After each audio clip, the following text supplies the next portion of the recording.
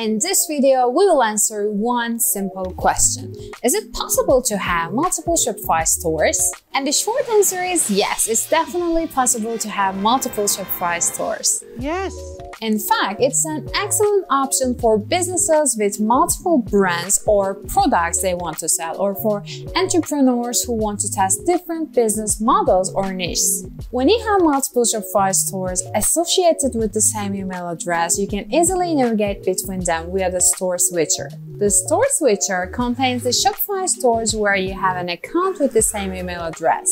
So if you're looking to expand your business or test new ideas, having multiple Shopify stores is definitely a possibility. Don't forget to follow Popupsmart for more and I'll see you next time.